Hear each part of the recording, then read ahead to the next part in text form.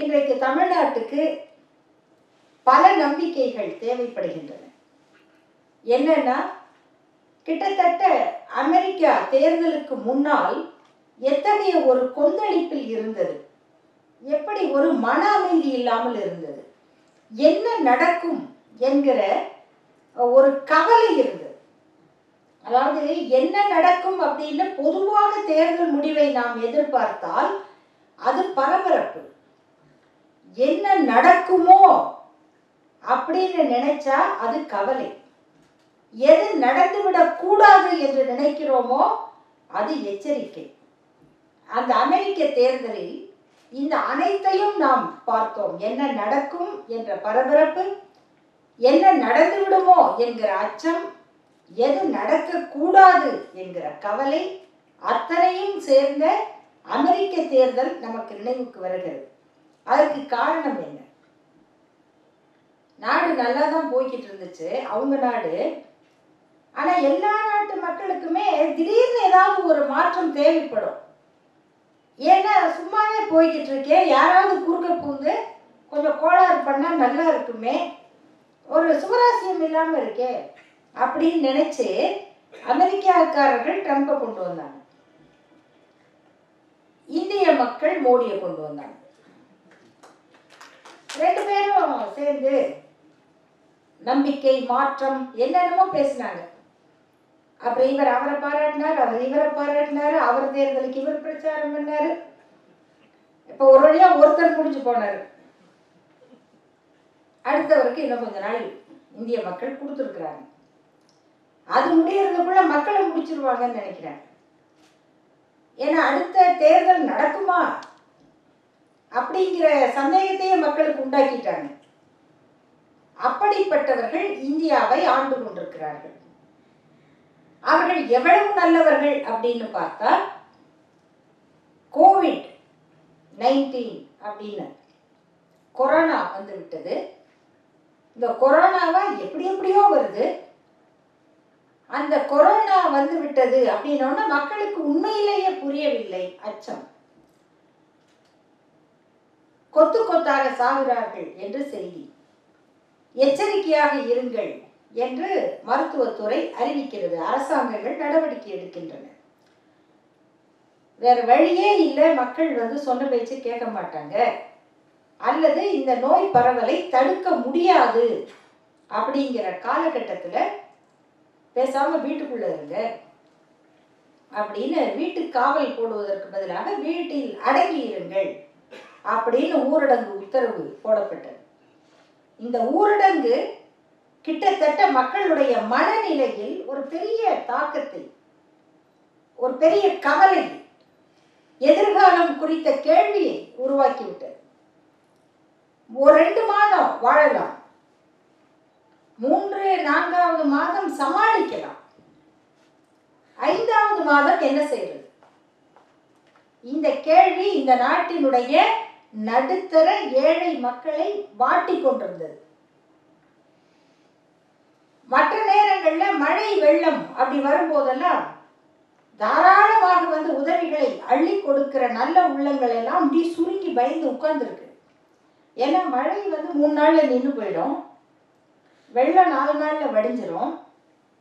அதுக்கப்புறம் எல்லாம் அவங்கவுங்க இடத்துக்கு போயிடுவாங்க. ஆனா இது எப்போ முடியும்னே தெரியாதே. நம்ம வந்து இருக்கிறதெல்லாம் உதவின்னு கொடுத்துட்டோம்னா நாளைக்கு நம்ம என்ன செய்யறது அப்படிங்கிற அச்சத்தில் மக்கள் இருக்கிறார்கள். அந்த மக்களுக்கு எந்த ஒரு உத்தரவாதமும் கொடுக்காத இந்த அரசு மக்களுடைய வாழ்க்கைக்கு எந்த பாதுகாப்பையும் செய்யாமல் கைத்தட்டுங்க விளக்கேத்துங்க அதில் ஒருத்தர் கோ கோ கொரோனா அப்படின்லாம் வேற ஊர்வலம் போக கொரோனாவை எதிர்த்து இந்த கூத்துகளை ஒரு பக்கம் நடத்தி கொண்டிருந்து சரியாக ஆறு மாதம் முடிந்தவுடன் மாதம்தான் முடியுது. ஊரடங்கு முடியல. மக்கள் வெளியில வரல. மக்கள் கூட முடியாது. எதிர்ப்பு குரலை கொடுப்பதற்கு கூட கூடி நின்று முழங்க முடியாத சூழலில் இந்தியாவினுடைய நிதி அமைச்சர் உட்கார்ந்து ஒரு நாள் பூரா அறிவிக்கிறாங்க. நாட்டில் எதெல்லாம் வித்துட்டோம்? அநேகமாக நம்ம வீட்டு படிக்கட்டு திண்ண பின் குழாயடி இதை தவிர மற்ற எல்லாத்தையும் வித்துட்டாங்க.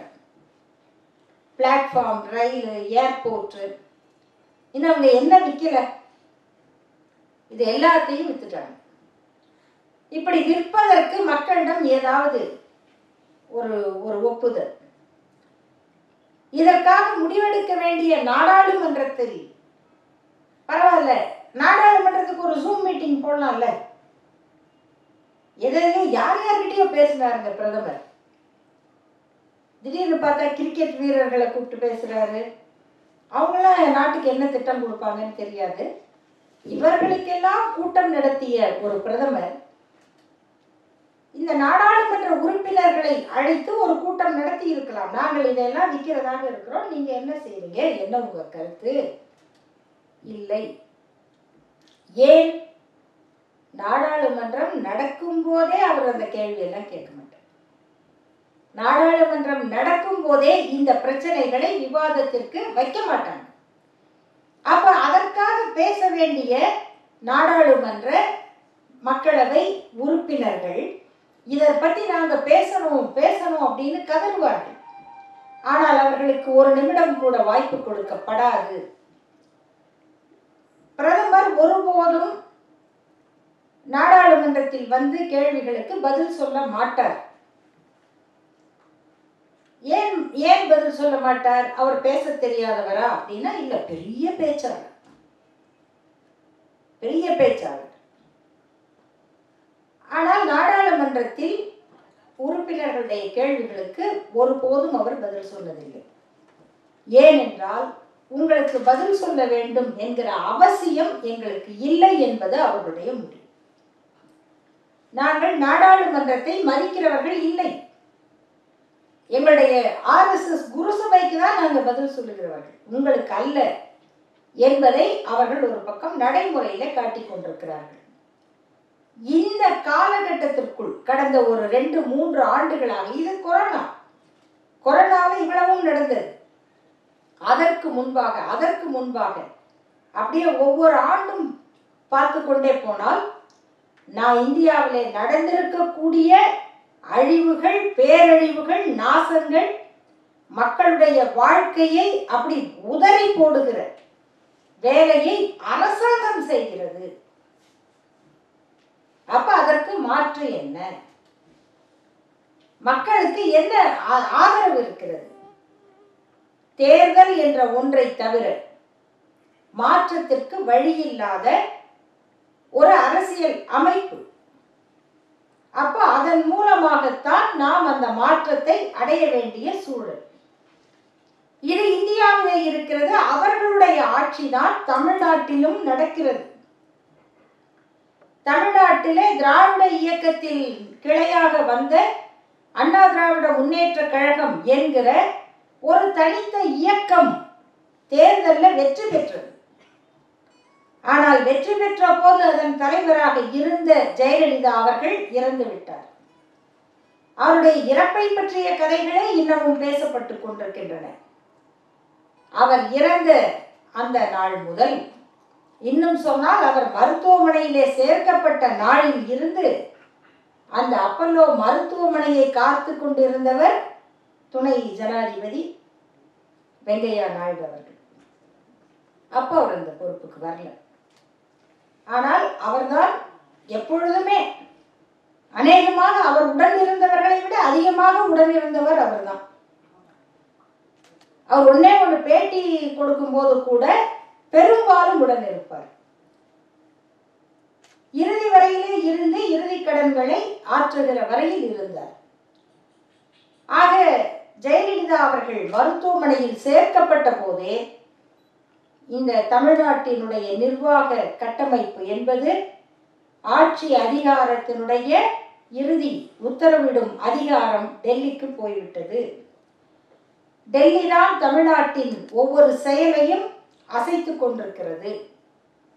அப்படிப்பட்ட சூழ்நிலையில் கடந்த நான்கு ஆண்டுகளாக இந்த தமிழ்நாடு அடைந்து விடுகிற வருகிற தொல்லைகள் என்ன நமக்கு தெரியும்?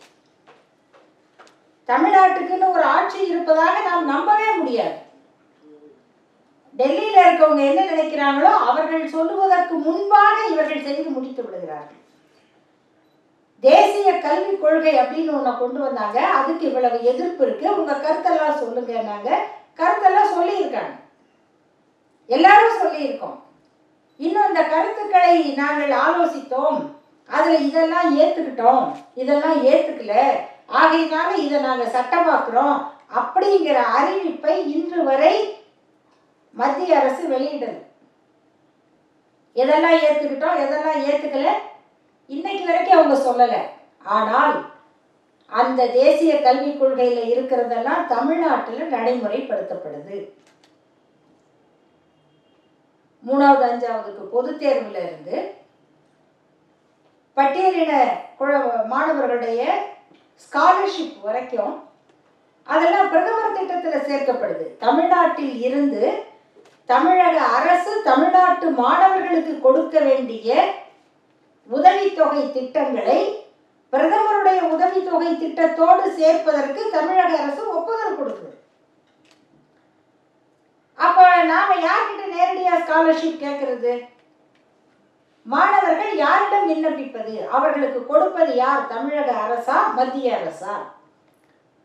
மத்திய அரசினுடைய உதவியை நிதி உதவியை பெற்றுக்கொண்டால் கூட தமிழ்நாட்டு மாணவர்களுக்கு அதை கொடுக்க வேண்டியது தமிழக அரசு. மத்திய அரசு கூடுதலாக கொடுக்கலாம் குறைவாக கொடுக்கலாம். அதை மாணவர்களுக்கு வழங்க வேண்டிய பொறுப்பை கொண்ட தமிழ்நாடு அரசு இல்லை அதை நாங்கள் வந்து பிரைம் மினிஸ்டர் திட்டத்தோட இணைக்கிறோம். அப்படிங்கிறதுக்கு ஒப்புதல் கொடுக்க தயாராக இருக்காங்க. எந்த ஒரு சட்ட திருத்தம் வந்தாலும் அது இந்த நாட்டுக்கு தேவையா இல்லையா தமிழ்நாட்டுக்கு இது அவசியம் இல்லை அப்படின்னு சொல்றதுக்கு தமிழ்நாட்டில் ஒரு ஆட்சி இல்லை. சென்ற ஆண்டு தொடக்கம் எப்படி தொடங்குச்சு? சிஏஏ குடியுரிமை திருத்தச் சட்டம். தமிழ்நாடு உட்பட இந்தியாவின் அத்தனை மாநிலங்களிலும் சிறுபான்மை மக்கள் அஞ்சி நடுங்கி என்ன நடக்கும்? பல பேர் கேட்டார்கள் ஏன் அவர்களை அவ்வளவு கொடியவர்களாக நினைக்கிறீர்கள்? அவ்வளவு இல்லை. அதை விட அவர்கள் நீங்கள் நினைப்பதை விட அதிகமாக வேண்டுமானால் இருப்பார்களே தவிர குறைவாக இருக்க மாட்டார்கள். குடியுரிமை திருத்த சட்டத்தில் என்ன உங்களுக்கு நடந்துரும் உங்கள்கிட்ட ரெக்கார்டு இருந்தால் காமிச்சிட்டு போங்களேன். நாங்கள் காமிச்சிட்டு போயிடுவோம். ஆனால் நாளைக்கு கடிதம் வரும். நீங்கள் காமிச்ச ரெக்கார்டு பத்தாது. அப்படின்னு ஒரு கடிதம் வந்துட்டா நான் இந்த நாட்டின் குடிமகனா இல்லையா? இவர் இந்த நாட்டின் குடிமகளா இல்லையா? அப்படிங்கிறத நிரூபிக்க வேண்டிய பொறுப்பு அந்த தனி மனிதருக்காக நம்ம பத்து ரெக்கார்டு காமிக்கிறோம் இது பத்தாது. நம்ம ஊர்ல சாதாரண ஒரு ரேஷன் கடைக்காரர் சொல்ல மாட்டார் இதெல்லாம் செல்லாது. அப்படி சொல்லிவிட்டால் அவர்கள் என்ன செய்வார்கள் என்கிற அச்சத்திற்கு அவர்களிடம் பதிலே இல்லை. அப்படி கூடிய கூட்டம் டெல்லியிலே அவர்கள் நடத்திய அந்த போராட்டத்துக்கு நடுவில் ஒரு இளைஞன் வந்து துப்பாக்கியால சுடுறான். துப்பாக்கியால சுடுறான். அவன் யார்? அவனுக்கு துப்பாக்கி எங்க வந்தது? எப்படி வந்தது? அதை பற்றி கேள்வி இல்லை. அவன் அந்த கூட்டத்தை கலைப்பதற்காக சுட்டான். இது ரெண்டாயிரத்தி இருபதாம் ஆண்டின் தொடக்கத்துல நாம பார்த்த காட்சி. அதே ஆண்டினுடைய முடிவுல என்ன நடக்குது? அதே டெல்லியில விவசாயிகள் போராடுகிறார்கள். விவசாயிகள் கூடியிருக்கிறார்கள். அந்த விவசாயிகளுடைய ஊர்வலத்துக்கு நடுவிலே வேறு சிலர் துப்பாக்கிகளோடு நுழைகிறார்கள். மீண்டும் அங்கே கலவரம் வெடிக்கிறது. அப்ப சாதாரண குடிமக்கள்ல இருந்து குடியானவர்களாகிய விவசாயிகள் வரைக்கும் தெருவில் நிறுத்தி பாதுகாப்பில்லை என்று போராடச் செய்கிற அந்த மத்திய அரசு அதனுடைய கிளையான தமிழ்நாட்டு அரசை நடத்தி கொண்டிருக்கிறது. நமக்கு என்ன நடக்குது தெரியுமா? இனிமே நம்ம நம்ம ரயில்வே ஸ்டேஷன் ஏர்போர்ட். பேர் பேர் எடுத்துடுறாங்களே. பேரறிஞர் அண்ணா பேர் எடுத்துடுறாங்க. பச்சை தமிழர் காமராசர் பேர் எடுத்துடுறாங்க. காமராசர் பேரை வச்சே வாட்ஸ்அப் கம்பெனி நடத்தினவெல்லாம் பேசாம இருக்கான் தியாகி காமராஜரை தோற்கடித்த தமிழ்நாடே அப்படின்னு போட்டவங்க அத்தனை பேரும் அவர் பெயரை எடுத்து விட்டாரே மோடி அப்படின்னு யாரும் போடல. ஏன்னா இது- இது அத்தனையும் எதற்காக திட்டமிட்டு சொல்லப்படுகிறது? அப்படின்னா அதுக்கு இன்னைக்கு கேட்க ஆள் இல்லை. அண்ணா பல்கலைக்கழகம் அப்படின்னா எப்படிப்பட்ட பேர்? நீங்க எங்க படிச்சீங்க? ஐஐடியில படிச்ச. நீங்க எங்க படிச்சீங்க? ஆர்இசியில படிச்ச. நீங்க எங்க படிச்சீங்க? பிட்ஸ் பிலானியில படிச்சேன் அதற்கு இணையாக அதை விட பெருமையாக நீங்க எங்க படிச்சீங்க? நான் அண்ணா யூனிவர்சிட்டியில படிச்சேன். அப்புறம் நீங்க அண்ணா யூனிவர்சிட்டியா அப்படின்னா இல்ல இல்ல. ஆனா அது அஃபிலியேட்டட் அண்ணா யூனிவர்சிட்டியிலேயே படிக்காவிட்டாலும் அண்ணா யூனி அண்ணா பல்கலைக்கழகத்தினுடைய ஒப்புதலை பெற்ற கல்லூரியில நான் படித்தேன் அப்படின்னு சொல்ற பெருமை இந்த தமிழ்நாட்டுக்கு தான் இருந்தது. இன்னைக்கு அந்த அண்ணா பல்கலைக்கழகத்திலேயே வேற ஒன்னோட அஃபிலியேஷனை ஆக்க போறோம். அப்படின்னு அவங்க சொல்றாங்கன்னா அவர்களுடைய திட்டம் என்ன? நம்ம பள்ளிக்கூடம் எப்படி உருவாக்கி இருக்கோம் ஆயிரத்தி தொள்ளாயிரத்தி இருபதுல தமிழ்நாட்டினுடைய கல்விக் கொள்கை உருவாயிருக்கு. அப்ப நீதி கட்சி ஆட்சி தி எஜுகேஷன் மேனுவல் அப்படிங்கிறது அன்றைக்கு உருவாக்கப்பட்டது. அந்த கல்விக் கொள்கையில சொல்றாங்க பள்ளிக்கூடம் எங்க அமையணும் அப்படின்னு சொன்னால் கிராமத்துல எல்லா மக்களும் வந்து சேரும்படியாக குறிப்பாக குறிப்பாக அது வந்து தீண்டப்படாதவர்கள் வந்து சேருவதற்கு வாய்ப்பான இடமாக இருக்க வேண்டும். இது the school should be located in a place which is accessible to all sections of the co- locality. Specifically the untouchables அவங்க வந்து சேருவதற்குரிய இடமாக பள்ளி இருக்கணும்.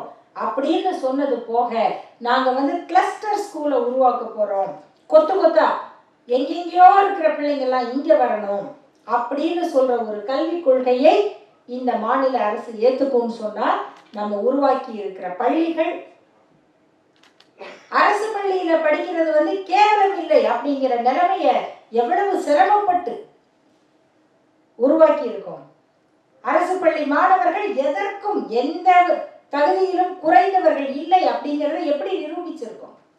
நீ அந்த பள்ளிகள் எல்லாம் கேள்விகளாக்கப்படும் அப்படின்னு சொன்னா கேள்விக்குள்ளாகும் அப்படின்னா எப்படி இதை மாற்றும்?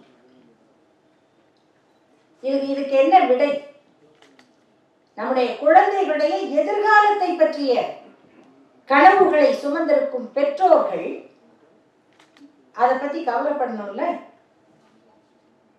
அந்த பெற்றோர்களுக்குரிய கவலையுடன் அவர்களை நாம் சிந்திக்க வைக்க வேண்டும். ஒன்றும் இல்லைங்க.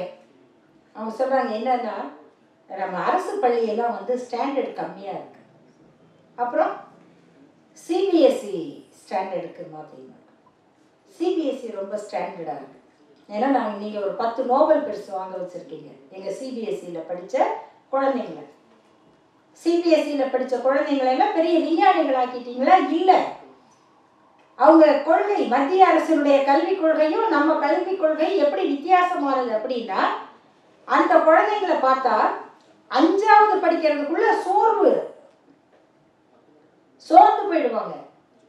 ஏன்னு கேட்டா அஞ்சாவது படிக்கிற வரைக்கும் கஷ்டப்பட்டு படிக்க வைப்பாங்களாம் ஆறாவதுல இருந்து ஈஸியா இருக்கும் நாங்க நம்ம அதுக்கு நேர் மாறானவங்க. ஐந்தாவது படிக்கிற வரை குழந்தைங்க எளிமையா படிக்கணும் மகிழ்ச்சியா படிக்கணும் ஆடல் பாடலோட படிக்கணும். ஆறாவதுக்கு பிறகுதான் அவங்க கொஞ்சம் பாடுபட்டு படிக்கணும். இந்த ரெண்டுக்குமே தொடர்பே இல்லையே. நம்ம குழந்தைகளுடைய குழந்தை தன்மை விளையாட்டு அத்தனையும் பறிப்போகுது போகுது அப்படின்னா எதிர்காலம் என்னவாகும்? இந்த கேள்விகளுக்கு விடை என்ன? சில பேர் கேட்பாங்க இப்பயும் பிரச்சாரம் பண்றாங்க? நம்ம நீட்டு பத்தி பேசினா ஏ நீட்டு தேர்வு திமுக தான் கொண்டு வந்தது. ஜல்லிக்கட்டு தடை திமுக தான் கொண்டு வந்தது. திமுகவா கொண்டு வந்தது அப்படின்னு கேட்டா அதுக்கப்புறம் சொல்லுவாங்க. திமுக கூட்டணியில் இருந்த காங்கிரஸ் ஆட்சி தான் கொண்டு வந்தது. ஆமா அந்த காங்கிரஸ் ஆட்சி தான் கொண்டு வந்தது. ஆனால் திமுக அந்த கூட்டணியில் இருந்தவரை அந்த காங்கிரஸ் ஆட்சி கொண்டு வந்த அந்த எந்த சட்டமும் தமிழ்நாட்டில் நடைமுறைக்கு வரலையே. தமிழ்நாட்டுக்கு நீட்டு தேர்வு கிடையாதே. அந்த வழக்கில் திமுக தன்னை இணைத்து கொண்டு அந்த சட்டத்திற்கு எதிராக போராடி வென்றதே. மாடி ஏற்றுக்கொள்ளாத மாநிலங்களை நீங்கள் வற்புறுத்த முடியாது அப்படின்னு நிரூபித்ததே. அப்போ மத்திய அரசு எவ்வளவு வலிமையாக இருந்தாலும் எப்படிப்பட்ட சட்டம் போட்டாலும் நீங்கள் எதிர்க்கட்சியாக அல்ல கூட்டணி கட்சியாக இருந்தால் கூட அதை தமிழ்நாடு ஏற்றுக்கொள்ளாது. எங்களுக்கு அது தேவையில்லை என்று சொல்லுவதற்கு அதை உரத்த குரலில் சொல்லுகிற கொள்கையுடைய இயக்கம் வேண்டும். அந்த உறுதி உடைய தலைவர்கள் நமக்கு வேண்டும். அப்ப நம்ம எங்க போய் தேடுவோம்? இந்தியாவில் இத்தனை எதிர்க்கட்சிகள் இருக்கின்றன. நிறைய பேர் ஒவ்வொரு மாநிலத்திலும் தலைவர்கள் இருக்கிறார்கள். ஆனால் எங்களுக்கு நீங்கள் வழிகாட்டுங்கள் என்று வடமாநில தலைவர்கள் கேட்கிற ஒரே இடம் தமிழ்நாடு மட்டும்தான். தமிழ்நாட்டில் எல்லாரையும் கேட்கல. அவர்கள் மறைந்த எம்ஜிஆர் அவர்களை யாரும் கேட்டதில்லை. இரும்பு மனுஷி என்ற சொன்ன ஜெயலலிதாவை பத்தி யாரும் நீங்க எங்களுக்கு வழிகாட்டுங்கன்னு கே கேட்க முடியாது. ஏன்னா பயந்துருவாங்க. அவ்வளவு உறுதியானவர் அவர். ஆகையினால அவங்கள கேட்க மாட்டாங்க. அப்ப யாரை கேட்பாங்க? அதற்கான கொள்கை. எங்களுக்கு வழிகாட்டுங்கன்னா யாருக்கு எதிராக? ஆர்எஸ்எஸ்க்கு எதிராக. ஆர்எஸ்எஸ்க்கு எதிராக யாரை கேட்க முடியும்? அதற்கு நேர் எதிரான தத்துவத்தை கொண்ட திராவிட இயக்கத்தை தான் அவங்க கேட்க முடியும். திராவிட இயக்கம் அப்படின்னு சொன்னால் அந்த தத்துவத்துக்குன்னு ஒரு தனித்தன்மை உண்டு. தனித்தன்மை உண்டு. அதுதான் இன்னைக்கு மக்களிடத்துல இளைஞர்களிடத்துல அவ்வளவு எளிதாக அந்த கேள்வியை கேட்க வைக்கிறது நீங்கள் ஒரு பெரிய பிரச்சாரத்தை தொடங்குறதுக்கு முன்னால் அந்த பிரச்சாரத்துக்கு வந்து இங்கே அதை அதை கார்ட்டூன் ஆக்கிடுறாங்க நீங்கள் எதை வலி வலிமையான ஒரு சாதனம்னு நினைக்கிறீங்களோ அந்த சாதனம் இங்கே நகைச்சுவை நாங்கள் எதை பெரிய ஒரு தாக்குதல் நினைக்கிறீங்க? தந்தை பெரியார் சிலையை ஒரு குறியீடாக வைத்து நாங்கள் வந்து தந்தை பெரியார் சிலையை தாக்குவோம் அப்படின்னு சொன்னீங்க. என்ன நடந்ததுன்னா அது வரைக்கும் தந்தை பெரியாரை படிக்காத பல இளைஞர்கள் படிக்க ஆரம்பிச்சாங்க. படிக்காத இளைஞர்கள். மற்றது படித்தவங்க தான். ஆனால் தந்தை பெரியாரே அவங்க படிக்கல. ஆனால் இந்த மாதிரி வந்த உடனே ஏன் தெரியுமா? இதை சொன்னவங்களெல்லாம் அவங்களுக்கு பிடிக்காது. தந்தை பெரியார் சிலை மீது கை வைப்பேன்னு சொன்ன அந்த மனிதர்களை இந்த நாட்டில் இருக்கிற நாகரிகமான படித்த இளைஞர்களுக்கு பிடிக்காது. ஏன் இந்த ஆள் இப்படி சொல்றாரு? அப்ப யார் பெரியார்? அதுக்காக படிப்போம். இன்றைக்கு இணையதளம் மட்டுமல்ல நண்பர்களே தமிழ்நாடு முழுக்க பெற்றோருக்கே அதை மீண்டும் இந்த வரலாற்றை எடுத்து சொல்லுகிற இளைஞர்கள் உருவாகிவிட்டார்கள் அதெல்லாம் வந்து மாறவே கூடாது. நாம யார் என்று நம்முடைய வரலாற்றை நம்முடைய பெற்றோருக்கு எடுத்து சொல்லுகிற அளவிற்கு தமிழ்நாட்டினுடைய இளைஞர் படை இன்றைக்கு அறிவு வழியில் தயாராகி இருக்கிறது நீங்க எதெல்லாம் உங்களோட ஆயுதம்னு நினைச்சீங்களோ அந்த ஆயுதங்கள் எல்லாம் இன்றைக்கு எங்களுடைய இளைஞர்கள் கையிலே மிக எளிதாக செயல்படுகிறது. நீ என்ன பண்ணுவீங்க? கூலிக்கு ஆள் வச்சு கூலிக்கு ஆள் வச்சு இந்த ஆபாசமாக எழுதுறது பொய் செய்திகளை உருவாக்குறது. இது அத்தனையும் யாரையாவது தேடி போய் கண்டுபிடிக்கலான்னு பார்த்தீங்கன்னா யாரையும் கண்டுபிடிக்கவே முடியாது. அத்தனையும் பூட்டு போட்ட முகமூடியாக தான் இருக்கும். அது ஏன்னா அதில் நூற்றுக்கு தொண்ணூறு பேர் கூலிக்கு வேலை செய்கிறவங்க ஆனால் நீங்கள் கூலிக்கு வேலை செஞ்சு இத்தனை ஆயிரம் பேரை எங்கெங்கேயோ நீங்கள் பிடிச்சி எத்தனை கம்பெனிகள் மூலமாகவோ அவங்களுக்கு வேலை கொடுத்து ஒரு கருத்து ஒரு கருத்து பிரச்சாரத்தை பரப்புறதுக்கு முன்னால் மூணே வார்த்தை உலகம் பூரா போயிடுது. Go back Modi. நீங்க என்னென்னவோ பண்ணிட்டு இருக்கீங்க. அது முடிஞ்சிடும் இவ்வளவுதான். இன்னைக்கு அடுத்தடுத்து அடுத்து வர்றீங்க. அடுத்தடுத்த பிரச்சாரத்துக்கு. இன்றைய தமிழ்நாட்டில் எத்தனை தலைவர்கள் வந்தாலும் எத்தனை விதமான பிரச்சாரம் நடந்தாலும் அதற்கு பதில் சொல்லக்கூடிய கொள்கை உள்ள இயக்கமாக திராவிட முன்னேற்ற கழகம் இருக்கிறதுனால மோடி வந்து பேசுறாரு. உங்கள் வரலாறு முடிஞ்சிருச்சு அப்படிங்கிறாரு. எங்கள் வரலாற்றை பற்றி பேச உங்களுக்கு தகுதி இல்லை. நீங்க ரெண்டாயிரத்து ரெண்டு குஜராத்தில் நடத்திய படுகொலைகளை நாங்கள் மறக்கவில்லை. அங்கிருந்து டெல்லிக்கு போயிட்டா ரத்தக்கரை போய்விடுமா? அப்படிங்கிறத கேட்கறதுக்கு ரெண்டாயிரத்தி ரெண்டுல நடந்ததை ரெண்டாயிரத்தி இருபத்தி ஒன்றில் நினைவுபடுத்துவதற்கு இந்தியாவில் ஒரு இயக்கமும் ஒரு தலைவரும் தான் இருக்கிறார்கள். அது திராவிட முன்னேற்ற கழகமும். தளபதி ஸ்டாலின் அவர்கள் தான் இப்போ இப்போ கூட கொஞ்சம் மோடி லேசாக தளர்ந்து விட்டார். ஆனால் ஒரு ரெண்டு ஆண்டுகளுக்கு முன்னால் அவ்வளவு பெருமையாக அவங்க எங்களை ஒன்றும் நீங்கள் பண்ண முடியாது அசைக்க முடியாது. அப்படிங்கிற உச்சத்தில் இருந்த போதுதான் தளபதி ஸ்டாலின் அவர்கள் அந்த மூன்று அடைமொழிகள் fascist Modi racist Modi sadist Modi முடிஞ்சு போச்சா? இதுக்கு மேலே உங்கள் வரலாற்றை எழுத வேண்டாம். இந்த மூன்று சொற்களில் இந்த நாட்டினுடைய ஆபத்தான தத்துவத்தின் பிரதிநிதியாக ஆண்டு கொண்டிருக்கிற பிரதமரை அடையாளப்படுத்தக்கூடிய தத்துவ செறிவுள்ள திராவிட முன்னேற்ற கழகத்தின் தலைவரான ஸ்டாலின் அவர்கள்தான் இந்த சூழ்நிலையில் தமிழ்நாட்டினுடைய ஒற்றை நம்பிக்கை அப்படின்னு சொல்றதுக்கு வேறு உதாரணமே வேண்டாம். நேற்று கோவையில் அதே மோடி அவர்களை பார்த்து பழைய வரலாற்றை அவர் நினைவுபடுத்திய அந்த பேச்சு போதுமானது. மக்களுக்கு என்ன தேவை? அமைதி தேவை. பாதுகாப்பான வாழ்க்கை தேவை. நல்ல கல்வி தேவை. அனைவருக்கும் வேலை வாய்ப்பு தேவை.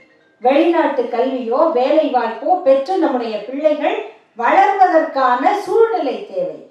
இதையெல்லாம் கொடுக்கிறான்னா அதற்கு உரிய அந்த கருத்தையும் கொள்கையும் கொண்ட திராவிட முன்னேற்ற கழகம் வென்றாக வேண்டும். அது தமிழ்நாட்டினுடைய எதிர்காலத்திற்கும் அமைதிக்குமான தேவை என்பதை நம்முடைய தமிழ்நாட்டு மக்கள் தெளிவாக உணர்ந்திருக்கிறார்கள். பல பேர் நம்மிடம் கேட்பார்கள் எத்தனை தொகுதியில் வெல்வார்கள்? என்று. திராவிட முன்னேற்ற கழகம் அத்தனை தொகுதியிலும் வெல்லும் வெல்ல வேண்டும். அப்படி வெல்ல வைப்பதுதான் தமிழ்நாட்டுக்கான பாதுகாப்பு என்பதை சொல்லி இந்த நிகழ்வின் மூலமாக ஒரு சிறந்த தேர்தல் பிரச்சார கூட்டத்தை தொடங்கி வைத்த திராவிட சூரியன் தோழர்களுக்கு மீண்டும் ஒருமுறை நன்றி சொல்லி முடிக்கிறேன். நன்றி வணக்கம்.